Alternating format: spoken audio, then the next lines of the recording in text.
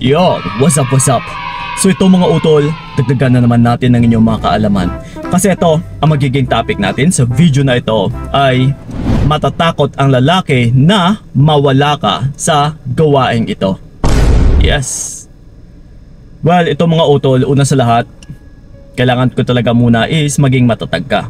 Dahil yun po ang kailangan ko dito bago mo magawa yung pinakamabisang teknik natin na dapat mong gawin. Actually, dalawang bagay lang naman ito na for sure madali nyo lang matatandaan. So, kailangan talaga is maging matatag ka, magiging strong ka, magiging resilient ka muna. Kasi kung isa kang mahina, yes for sure, hindi mo rin talaga magagawa yung bagay na ito na ipapagawa ko. And then, that's why isa rin itong dahilan kung bakit na-echapera ka at saka walang takot yung partner mong lalaki sa'yo dahil sa kahinaan mo. So ito ngayon mga utol, kailangan talaga is maging matatag ka na siya yung bibigyan natin ng takot. Okay, dalawang bagay lang naman na yung una sa lahat ay walang iba kundi nakafocus sa sarili. Yes. So, ito ngayon, kailangan talaga is pagdating sa relationship, wag mong ibuhos lahat-lahat. Okay? Once kasi na nakafocus ka sa iyong sarili, sa iyong mga pangarap, yes, still nagpapaganda ka, nagpapasexy ka, and then, ganun pa man is, nakafocus ka sa sarili mong gawain, sa iyong trabaho, na yung lifestyle mo isang maganda. Okay, no, yung tipong hindi na stress or hindi nagpapaka-stress. At saka, hindi rin ginagawang mundo yung relationship. So ito mga utol ha, imagine ninyo. Like for example, yung nagfo-focus sa sarili niya na babae, sa mga goals niya sa buhay, nagpapaganda, nagpapasexy, like I said kanina, kung i-versus natin ito sa babae na walang kapangapangarap, kundi yung tipong pumapasok sa relationship at saka ibuhos yung lahat-lahat. Ha iniikot yung buong mundo sa relasyon or sa partner na lalaki. 'Di ba? Kung natin, sino dito yung mabibigyan ng takot? Kundi ito yung babae na nagbibigay ng buong oras niya sa relationship. That's why isa rin ito na dahilan kung bakit binubuhos niya rin lahat-lahat. Na mas lalo niya pang binubuhos. Dahil yung partner mo mismo na lalaki ay wala ng takot sa iyo. So di ba kung ipagkumpara natin sa babaeng nagfo-focus sa kanyang sarili, sa kanyang mga pangarap and then versus dito sa babae na walang kapangapangarap, nakadepende lang sa lalaki, then sa tingin mo, sino yung kakatakutan ng partner mong lalaki na mawala? Kundi, mas matatakot siya dito sa babae na nagbibigay ng focus sa kanyang sarili. Dahil for sure yung babae na ito is makakatulong pa sa kanya balang araw. May trabaho eh. Yes, maganda, mas sexy, napaka high value tignan.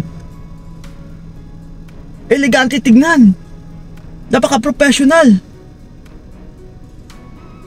'Di ba kasi meron din akong um, narinig or uh, yes, kagaya na rin sa mga nagpapakonsult sa atin one on one. Nakaramihan din talaga hindi ko nila lahat pero meron at meron talaga na nagsasabi na Kuya Kiko Um, dati yung pangarap ko is um, once na makahanap ako ng lalaki na magmamahal sa akin ng totoo ay ibubuhos ko talaga yung lahat-lahat ko. Yes, pati oras ko lahat, ibigay ko lahat para sa lalaki na yun. Pero yung pala Kuya Kiko is mali. 'Di ba? Kung papakinggan natin utol na ibubuhos niya lahat-lahat is mapapawaw ka eh. Wow! Ibibigay niya lahat-lahat. Napakasarap nun. Pero yung hindi natin alam is ano or kamusta naman yung magiging resulta. So ganun na nga Kuya Kiko, huli ko na na-realize na mali pala yun. Yes, napakasarap pakinggan, pero ganun pa man yung resulta is mas lalo lang pala akong na-echo pera. Mas lalo palang nawawala ng takot yung partner kong lalaki sa akin. Dahil binuhos ko lahat-lahat eh. Yes. So ganun po yun. That's why may mga babae talagang na-echa pera kapag ginawa ninyong mundo yung relationship or yung partner ninyong lalaki. Yes, compare mo doon sa babae na napaka-professional, nagfo-focus sa kanyang sarili. Yes, still na nasa relationship siya, pero hindi niya pinapabayaan yung kanyang sarili, yung mga pangarap niya. May oras at saka may oras pa rin siya para sa kanyang sarili. So talaga, sa gawain na ito utol is mas lalo mong mabibigyan ng takot yung partner mong lalaki sa'yo na mawala ka. Kasi makikita niya talaga na ikaw itong babae na may pangarap sa buhay, na may future, na for sure kung mag stay siya sa babaeng ito na hindi niya papakawalan dahil may takot siya or matatakot siyang mawala is siya din ay talagang mabibigyan ng magandang future.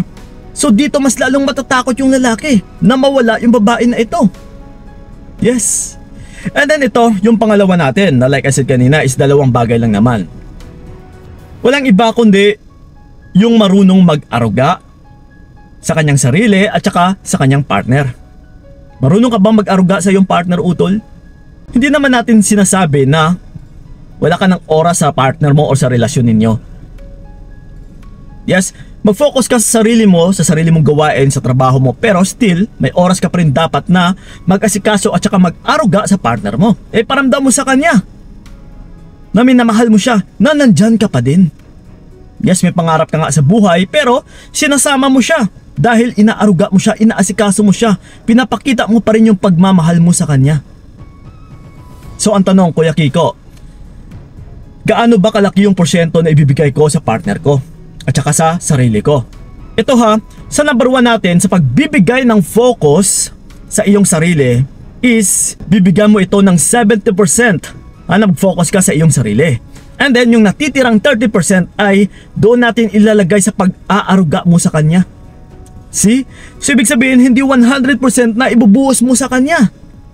70-30. 70% sa sarili mo dahil sa pangarap mo, dahil sa future ninyo, And then 30% lang sa kanya is talagang matatakot yung partner mong lalaki na mawala ka. Compare talaga sa binubuhos mo yung lahat-lahat mong oras sa kanya or yung binubuhos yung uh, lahat-lahat ng uh, or iniikot yung kanyang mundo sa relationship. ba? Diba? So kung i-imagine natin sino yung babae na kakakatakutan ng partner niyang lalaki. Kundi sa babaeng napaka-professional at saka nagpo-focus sa kanyang sarili. At saka still may pag-aaruga. Okay? So na po mga utol and then again balik tayo sa kanina sa sinabi ko na kailangan is tatagan mo muna yung sarili mo para magawa mo yung bagay na ito. Dahil kapag pinapakita mo na wala kang takot sa kanya, siya din talaga yung mabibigyan mo ng takot.